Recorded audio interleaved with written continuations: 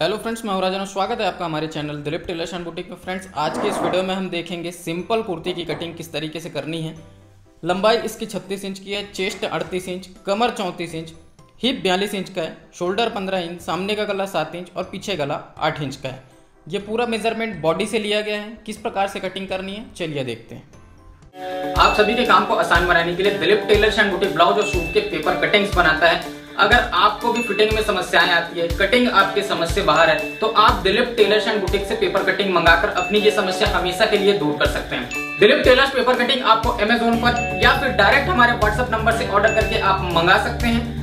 Friends अगर आप लोग एक बड़े मास्टर की तरह कटिंग और सिलाई सीखना चाहते हैं तो हमारे ऑनलाइन क्लासेस को ज्वाइन कर सकते हैं। अधिक जानकारी के लिए दिलीप टेलर्स मोबाइल ऐप आप ज़रूर डाउनलोड कीजिए। लिंक आपको मिल जाएगा डिस्क्रिप्शन पे। सिलाई से जुड़ी ढेर सारी वीडियोस फ्री में देखने के लिए इस चैनल को आप सब्सक्राइब कीजिए, नीचे रेड बटन को दबा करके, और इस चैनल के साथ आप हमेशा के लिए जुड़ सकते हैं। सबसे पहले लेंगे एक बिल्कुल सीधा निशान, और उसके बाद हाफ़ इंच नीचे एक और निशान लेंगे। इसका मतलब यह है कि पीछे का पल्ला हम हमारे कटिंग मेथड में हाफ़ इंच बड़ा रखते हैं। अब इसके बाद देखना शोल्डर का मेज़रमेंट लेंगे तो शोल्डर बॉडी के नाप पर 15 इंच का है। और पीछे का गला हमें आठ इंच डीप करना है। तो हम ना पहले क्या करेंगे, पंद्रह का हाफ़ करके साढ़े सात पे निशान लगाएँ और उसके बाद यहाँ पर एक इंच शोल्डर को माइनस कर देंगे। इस तरह से। अगर यही गला नौ इंच, दस इंच डीप होता तो डेढ़ इंच भी माइनस कर सकते थे। अब ये जो निशान है, साढ़े छः का, ये नीचे भी लगाएँगे इस तरह से। इन दोनों निशानों को स्केल से मिला लेते हैं। मिलाने के बाद यहीं पर बात आती है आर्म होल निशान की।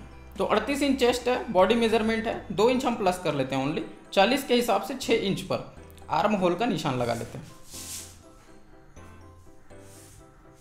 ठीक है? ये निशान लगाने के बाद, यहाँ पर हम चेस्ट का मेज़रमेंट लेंगे। तो चेस्ट कितना है? अड़तीस इंच का। ध्यान देना बॉडी मेज़रमेंट होने की वजह से तीन इंच की लूजिंग दे रहे हैं। तो ये हो जाएगा फोर्टी वन अब इकचालीस इंच का चौथा हिस्सा कितना होगा? ये होगा सवा दस इंच तो सवा दस इंच का निशान लगाएँ। और उसके बाद डेढ़ इंच आपको अलग से सिलाई मार्जिन देना है। बॉडी मेज़रमेंट की लूजिंग अलग होती है, सिलाई मार्जिन अलग होता है। ये करने के बाद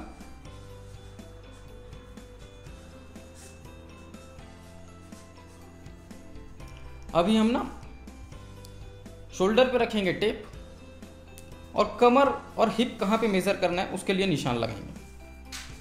तो ये इस प्रकार से शोल्डर पे हम टेप रखते हैं, कमर इसमें हम नापेंगे, साढ़े चौदह इंच पे, और हिप नाप लेते हैं साढ़े बीस पे। ये निशान वेरी कर सकते हैं, जब आप बॉडी मेज़रमेंट लेंगे तो इन सब चीज़ों पे फोकस करना है आपको। और उसके बाद हम लगा लेंगे निशान टोटल लंबाई का।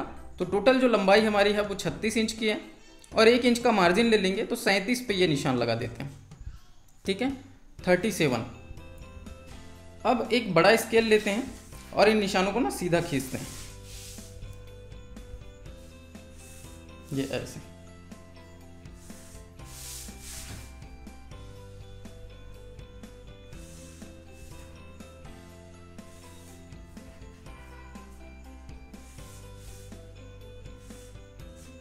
अब ये नीचे का जो निशान है, ये हमने फोल्ड करने के लिए लिया है। अब यहीं पर हम मेज़रमेंट डालेंगे तो ध्यान देना चेस्ट का तो हमने कैलकुलेशन कर लिया। कमर पे आते हैं। चौंतीस इंच का कमर है नॉर्मल फिटिंग के लिए यहाँ तीन इंच लूज रख सकते हो। टाइट फिटिंग चाहिए, दो इंच लूज रख सकते हो। तो जैसे यहाँ पर हम नॉर्मल चलते हैं, तीन इंच लूज लेकर के तो ये होगा thirty seven thirty four plus three ये तीन इंच लूजिंग हो गई। अब थर्टी सेवन मतलब सैंतीस का चौथा हिस्सा कितना होगा? ये होगा सवा नौ निशान लगा दिए। अब डेढ़ इंच का हमें सिलाई मार्जिन अलग से देना है। ये निशान लगा दिए। अब आते हैं हिप पर। हिप इसमें फोर्टी टू बयालीस इंच का। अब ध्यान रखना हिप कोई भी साइज़ का आप बना रहे हैं ना तो उसमें सिर्फ़ दो इंच की लूजिंग देनी है। तो ये हो जाएगा चवालीस। अब चवालीस का चौथा हिस्सा लेंगे, ये होगा सीधा सीधा ग्यारह इंच। और हिप पे हमेशा ये ध्यान रखना, सिलाई मार्जिन भी एक इंच का ही लेना है, चाहे कोई भी साइज़ हो। तो इन निशानों पे थोड़ा सा गौर करें। अब जितना मेज़रमेंट हमने यहाँ पर लिया है, देखिए ग्यारह इंच तो यहाँ पर आकर के दामन का निशान भी ग्यारह इंच पर लगा देते हैं, नीचे। और एक इंच का यहाँ पर भी मार्जिन, ये कॉमन रहेगा आपका, एक इंच का मार्जिन हिप और दामन पे। तभी तो यहाँ पे चौक मुड़ता है। अब ये जो निशान है ना, इसको इस तरह से मिला दें। ठीक है? यहाँ पर ये वाला निशान भी मिला दें। अब ये इस तरह से इन निशानों को मिला करके पूरा चेस्ट कमर तक ड्रॉ कर लेना है। ये हो गया। अब यहाँ पे ऊपर के साइड आते हैं। सबसे पहले आर्म होल को डाउन करते हैं। हाफ़ इंच अंदर की तरफ़ डाउन करेंगे। स्केल से मिला देंगे। ये ऐसे। अब इसके बाद यहाँ पर एक इंच की दूरी से आर्म होल की गोलाई देंगे। बिल्कुल करीब से। तो ध्यान देना, ये फ्रंट पल्ले की गोलाई बनेगी। ये इस तरह से राउंड करना है। अब बैक पार्ट का गोलाई देने के लिए पौन इंच का डिस्टेंस लेंगे। ये ऐसे और यहाँ से इसकी गोलाई स्टार्ट करेंगे। और चेस्ट की तरफ़ जा करके हल्का सा डाउन करके इस तरह से इसको राउंड देना है, ठीक है? इससे आपके आर्मोल की फिटिंग अच्छी आएगी। अब हम आते हैं शोल्डर पे। तो शोल्डर ना पहले आपको हाफ़ इंच डाउन करना है क्योंकि ये डीप गला है। हमारे कटिंग मेथड में मैंने आप लोगों को स्पेशली ये चीज़ बताया है, जो लोग हमें फॉलो करते हैं। आप शोल्डर को डीप गला होने पे इस तरह से गले की तरफ़ डाउन करें। बाकी सभी पैटर्न्स में आप आर्म होल की तरफ़ डाउन करें। अब गला यहाँ पर लेना है ढाई इंच का। ये इस प्रकार से। जैसे आपने सामने पल्ले का शोल्डर डाउन किया, वैसे ही पीछे पल्ले का भी शोल्डर आपको डाउन करना है।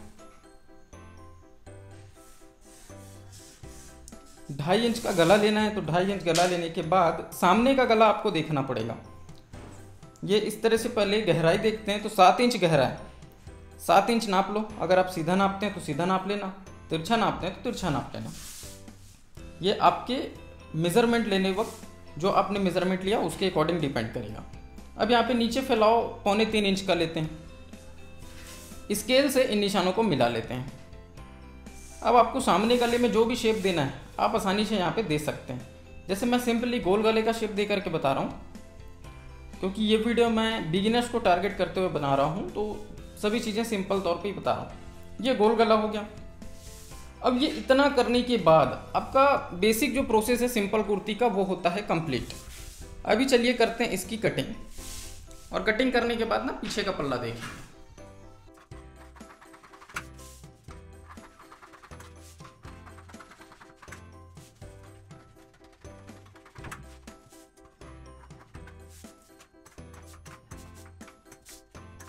तो ये इस प्रकार से आपको कटिंग करके सामने और पीछे का पल्ला अलग अलग कर लेना है, ठीक है?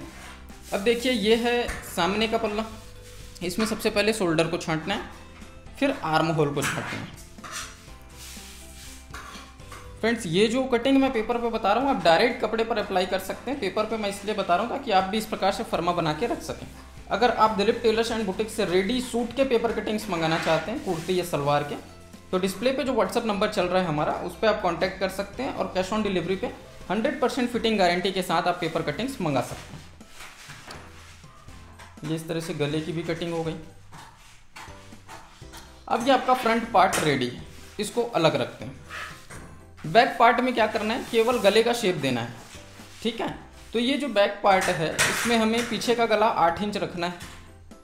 आठ इंच रखने के लिए ये आप इस प्रकार से नाप लें।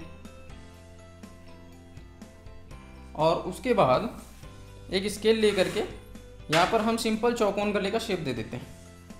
या फिर आप कोई भी गला पैटर्न यहाँ पे बनाना चाहें, बना सकते हैं। तो यहाँ पे फैलाव पौने तीन इंच ही रखेंगे और इस प्रकार से मिला देंगे। आप यहाँ पे जो भी शेप देना चाहें दे सकते हैं। मैं सिंपल चौकोन गला बता रहा इसको भी यहाँ से काट के बाहर कर देंगे। अब रही बात अस्तिन कटिंग की। तो अस्तिन कटिंग इस वीडियो में मैं इंक्लूड नहीं कर रहा हूँ। अस्तिन की जो कटिंग है, वो आप स्लीव्स कटिंग, दिलीप टेलर्स लिख करके सर्च करके देख सकते हो। मैंने अस्तिन कटिंग के ऊपर में पर्टिकुलर जो वीडियोस बनाए हैं, वो आपको मिल जाएँगे। और हर वीडियो में अस्तिन कटिंग इंक्लूड करने से समय ख़राब होता है आप लोगों का भी। तो ये मैंने इंक्लूड नहीं किया। अगर ये सिंपल कुर्ती की कटिंग आप लोगों को पसंद आई है तो वीडियो को लाइक करें शेयर करें। चैनल पे पहली बार आए चैनल को सब्सक्राइब भी कर लीजिएगा। मैं राजन आपसे फिर मुलाकात करता हूँ किसी नए वीडियो में, नए टॉपिक के साथ। तब तक के लिए जय हिंद।